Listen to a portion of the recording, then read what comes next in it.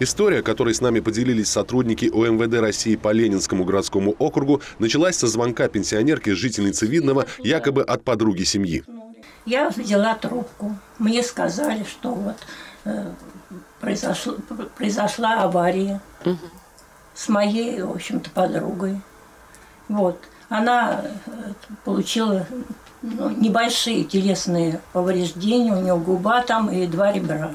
Псевдознакомая также рассказала, что вторая участница аварии получила серьезные травмы и, чтобы замять инцидент, попросила у пенсионерки полтора миллиона рублей якобы на операцию. Я же пенсионерка.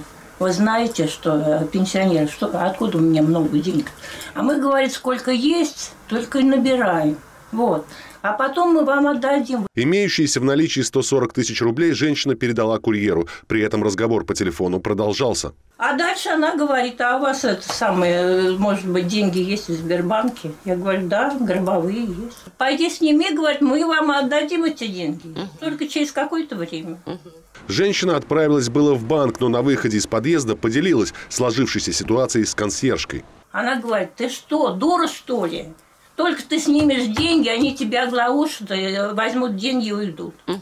А тебя, в общем, на тот свет отправят. Женщины позвонили в полицию и сообщили о произошедшем. В дальнейшем все действия проходили под контролем стражей правопорядка. Ты меня слышишь, да? Что тебе туда положить-то?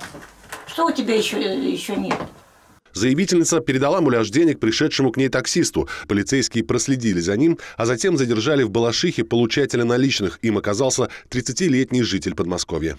Я искал какую-то подработку, наткнулся на группу. Вот, там было написано курьер наличными. Ну, я связался.